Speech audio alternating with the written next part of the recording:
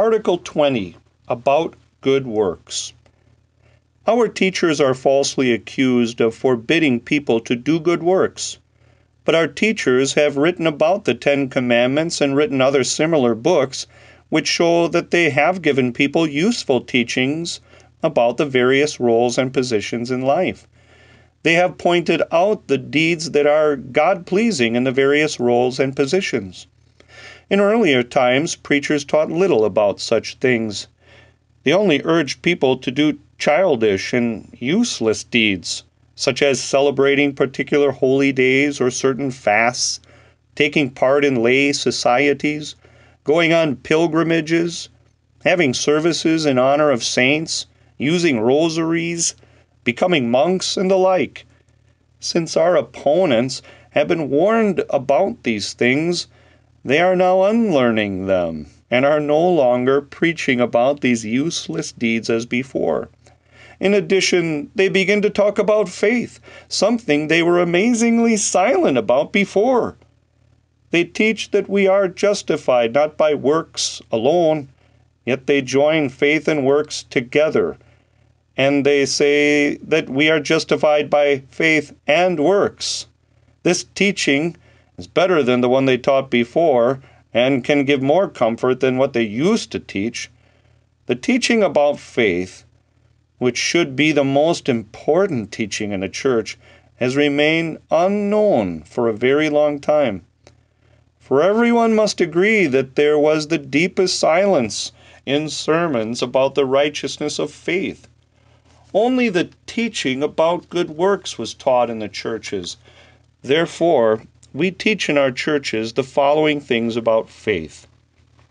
First of all, that our deeds cannot reconcile us to God, or earn forgiveness of sins, grace, and justification. We can only receive these by faith when we believe that we are received into favor for Christ's sake. He alone has been proclaimed as mediator and propitiation, so that we can be reconciled to the Father only through him. Whoever therefore believes that he deserves grace because of his deeds despises the merit and grace of Christ and is seeking a way to God without Christ by human strength. Even though Christ has said about himself in John chapter 14 verse 6, I am the way and the truth and the life.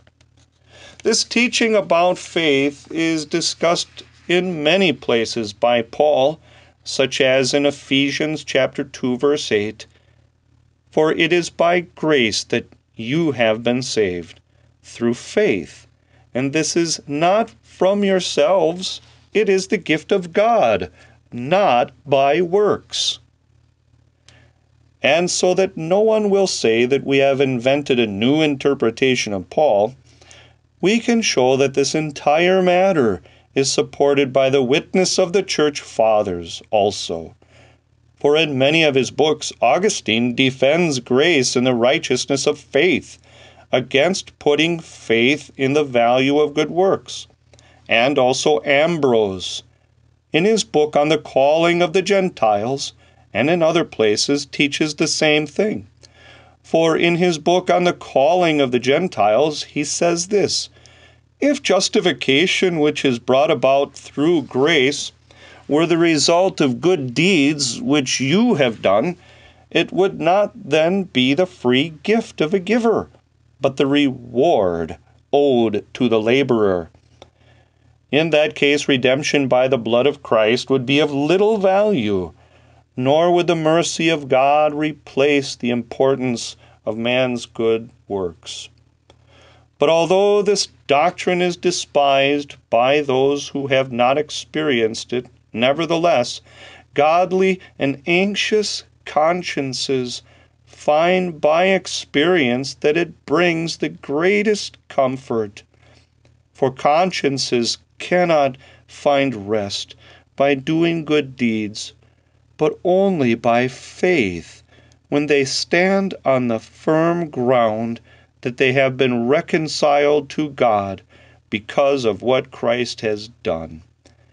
as Paul teaches in Romans chapter 5 verse 1, therefore, since we have been justified through faith, we have peace with God. This whole doctrine must be understood as part of the struggle of the terrified conscience, nor can it be understood apart from that fight. Therefore, inexperienced and worldly people make bad judgments about this matter. They imagine that Christian righteousness is just public and philosophical righteousness. Until now, consciences have been so bothered by this teaching about good works that they could neither hear the comfort from the gospel. Some persons were, were driven by their consciences into the desert or into monasteries, hoping to earn God's grace by living as monks. Some thought up other deeds by which they wished to earn grace and satisfy the punishment for sins. So there was a very great need to explain and bring to light again this teaching of faith in Christ, so that anxious, anxious consciences should be comforted, and so that people will know that grace and forgiveness of sins and justification are received by faith in Christ. People must also learn that in this context, the term faith does not merely mean believing that certain things happened in history, the kind of faith that even the ungodly and the devil have.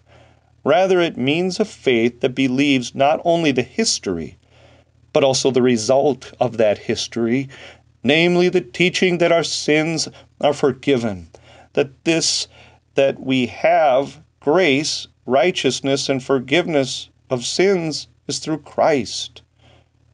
Now, the person who knows that he has the Father who is gracious to him through Christ truly knows God. He knows also that God cares for him, and he calls upon God in prayer. In short, he is not without God, as the heathen are. For the devils and the ungodly are not able to believe this doctrine, the forgiveness of sins, Therefore they hate God like an enemy and do not pray to him, and they expect no good from him.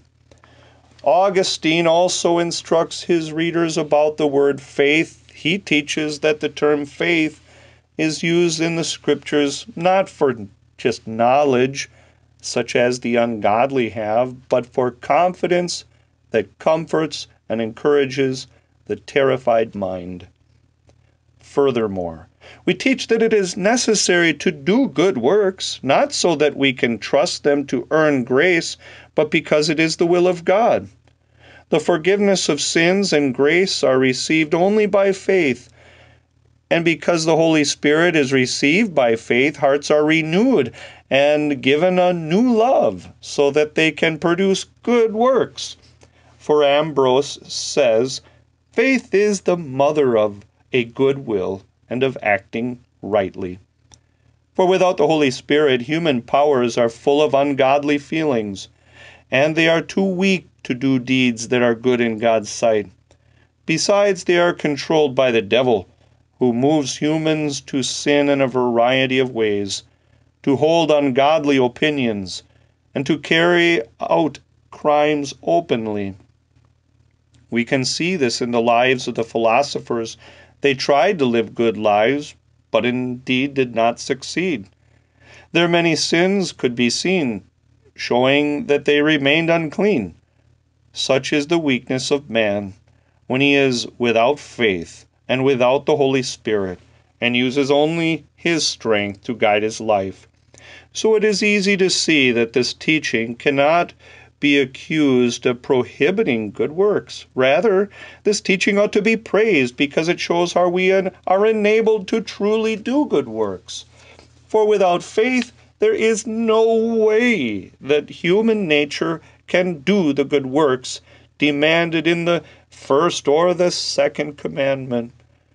Without faith, human nature does not call upon God, nor expect anything from God, nor bear the cross. Instead, it seeks and trusts in help from other humans. And when there is no faith and trust in God, all kinds of evil desires and human ideas rule in people's hearts. As Christ said in John 15, verse 5, Apart from me, you can do nothing. And as the church sings, Without your divine favor, there is nothing found in man, nothing in him is harmless.